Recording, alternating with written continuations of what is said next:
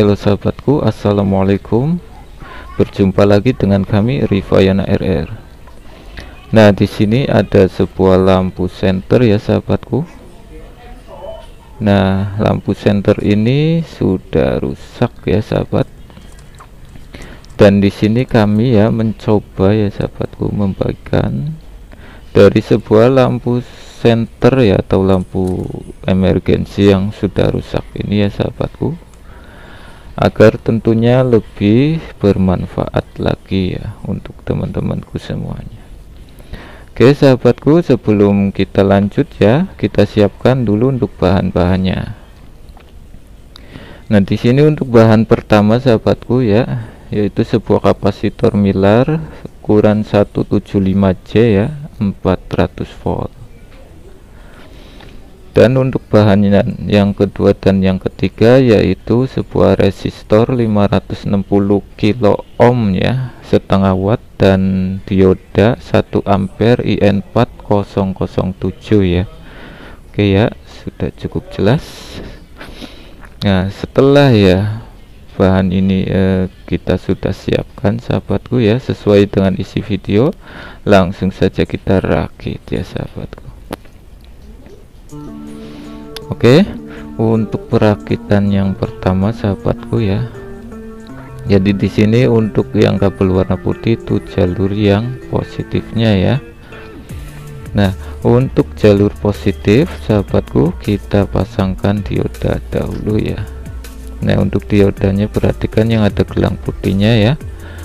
Nah untuk yang ada gelang putihnya kita pasangkan ke kabel warna putih atau kabel positif dari lampu senternya.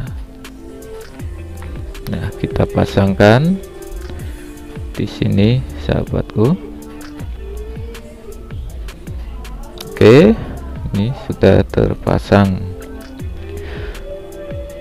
Oke ya sudah cukup jelas. Kemudian selanjutnya kita pasangkan untuk resistornya Nah untuk resistornya ini kita pasangkan ke jalur negatifnya.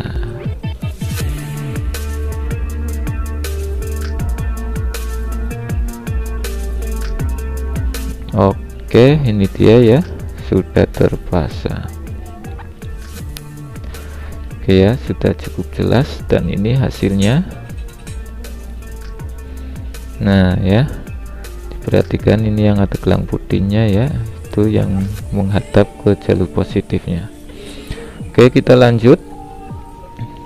Kita pasangkan ke kapasitornya ya sahabatku. Ini bebas ya mau bolak-balik tidak apa-apa ya. Mau resistornya dahulu mau diodanya dahulu tidak apa-apa ya. Oke sahabatku kita lanjut pasangkan ya untuk eh, kapasitornya ke lampu senternya ya. Nah, seperti ini ya. Dan dipastikan untuk baterainya sangat kuat.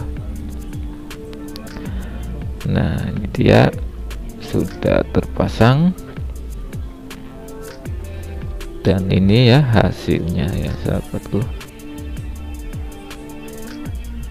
Oke semoga cukup jelas dan sangat jelas ya. Oke sekarang kita lanjut sahabatku untuk langkah selanjutnya. Nah untuk langkah selanjutnya di sini sahabatku kita siapkan ya ini sebuah stop kontak. Dan untuk eh, kabel dari stop kontaknya ini kita pasangkan ke kapasitornya ya. Nah seperti ini ya jadi di bawah dioda ya. Nah seperti ini ya. Dan ini menyisakan satu kabel dari stop kontaknya. Oke sahabatku. Tak cukup jelas ya. Nah. Kemudian setelah ini sahabat ya ini kan menyisakan satu semua ya. Kita siapkan sebuah striker dan yang ada kabelnya nah seperti ini saja biar mempermudah. Untuk ke kabel ya ini yang dari strikernya ini kita pasangkan ke kapasitornya. Dan yang satunya ini kita pasangkan ke stop kontaknya. Nah seperti ini ya sahabat. Oke ya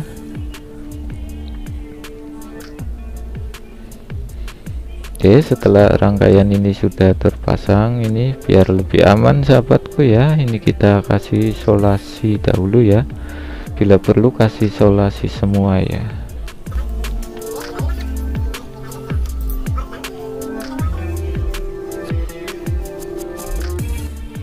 Oke ini dia. Sudah terpasang semua ya ke stop kontak lampu center dan strikernya lanjut. Ini untuk stop kontaknya ya sahabat. Ini kita tutup dahulu ya biar uh, lebih aman ya tentunya. Oke kita pasangkan dahulu untuk tutup stop kontaknya.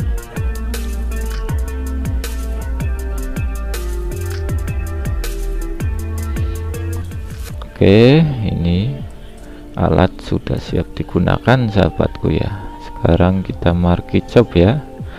Mari kita coba untuk alatnya. Nah di sini biar lebih jelas ya sahabat.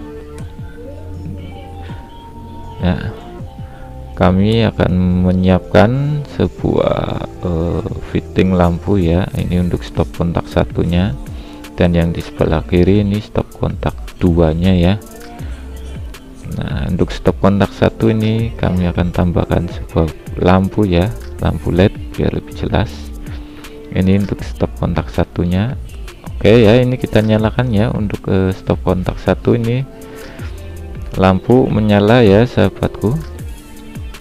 Dan kita akan mencoba ya untuk stop kontak tuanya nah nah di sini terlihat ya sahabatku untuk lampunya sudah menyala ya ini untuk stop kontak duanya. Oke. Okay. nah jadi di sini ya sahabatku kita siapkan sebuah striker ya. Dan ini kita satukan untuk kabelnya. Nah seperti ini ya. Ini ya. Nah kita akan konsletkan ya sahabatku. Nih, mohon perhatiannya sahabatku. Ya. Kita akan konsletkan. Nah seperti ini ya. Tuh ini agak susah nah aduh ini belum pas. Nah ini dia. Nah untuk stop kontak dua ya ini lampu mati ya. Tapi untuk stop kontak satu ini terlihat ya sahabatku. Untuk lampunya tetap menyala ya. Jadi ini mantap sekali ya sahabatku ya. Mungkin dikatakan canggih ya. Jadi listrik kita tentunya aman ya. Dan ini mantap sekali untuk yang hobi servis ya. Oke Terima kasih banyak, semoga bermanfaat. Maaf atas segala kekurangan. Wassalamualaikum warahmatullahi wabarakatuh.